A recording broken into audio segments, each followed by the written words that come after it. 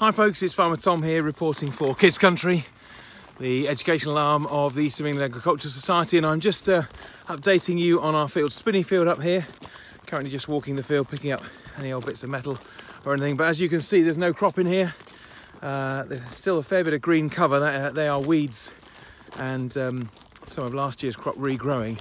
Um, but it's been so wet, as you'll be well aware, that we've uh, been completely unable to sow any crop at all.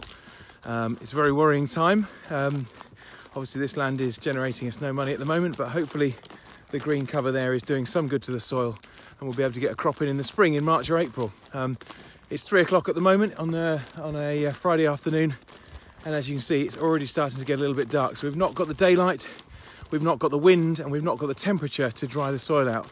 Uh, and with a, a fair, uh, fair bit of wet weather in the forecast recently, uh, it doesn't look like it's going to dry out anytime in the near future. So it's a wet outlook for here on the farm in Spinneyfield. Um, and I'm thinking I was hoping to get some winter wheat in here, um, but that moment has probably passed. Um, that's winter sown wheat. Uh, and I should probably put some spring sown barley in here instead, um, which hopefully will be okay in these conditions. It's a nice south facing slope, so when the sun does start to shine later in the year, and I promise it will do, I'm, well, I'm sure it will do, um, we'll, uh, we'll, we should get some uh, a reasonable yield from this, but it will be uh, a field that's already on the back foot, even at um, uh, uh, even in January uh, from where we are. Anyway, from me and from the dog, who's somewhere over there having a great time. Bye for now.